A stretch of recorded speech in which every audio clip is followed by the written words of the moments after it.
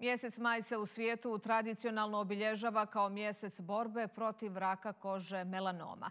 Melanom, najopasniji oblik raka kože, može imati pogubne posljedice ako se ne otkrije na vrijeme.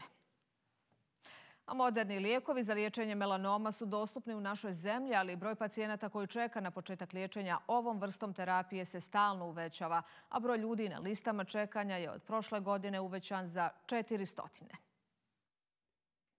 Semir Terzić boluje od teškog oblika melanoma, a jedina opcija liječenja bilo je vađenje limfnih čvorova ili pametna terapija uz konstantno praćenje razvoja bolesti. Propisani lijek je morao plaćati sam, a najjeftinije je pronašao u Turskoj. Koštao je skoro 8000 maraka. Nakon godinu dana primaje terapije, ja sam, evo, znate, na meni se ne vidi da sam bolestan i dalje sam osjećam se zdravo, radio sam svo vrijeme, sada e, trenutno mi je se vratila bolest i primam drugu terapiju, međutim, e, prvu opet moram sam finansirati.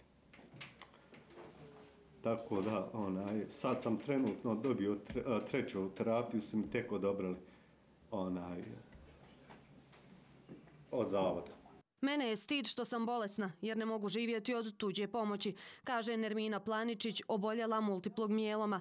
Zločudne bolesti koštane srži. Bolest je bila u stanju mirovanja sve do 2022. godine, kada joj je urađena autologna transplantacija koštane srži, nakon čega je liječenje nastavila lijekovima iz Turske.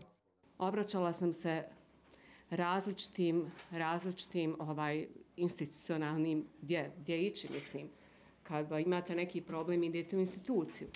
Gdje su mi rekli da ovih lijekova čak nema ni na listi. Kvalitetni onkološki lijekovi često su preskupi za državu, ali ne i za ljude koji su svjesni da njihov život nema cijenu.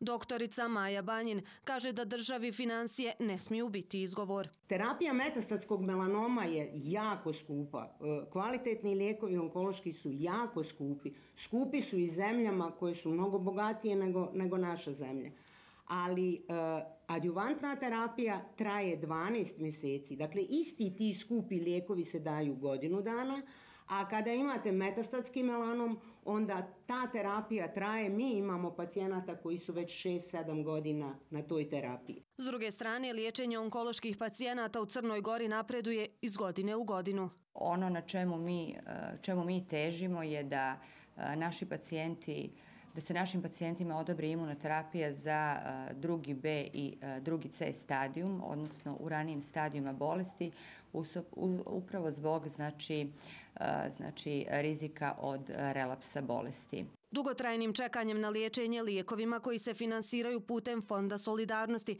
očekuje se da će sve više ljudi izgubiti bitku s malignim bolestima prije nego što dobiju šansu za liječenje.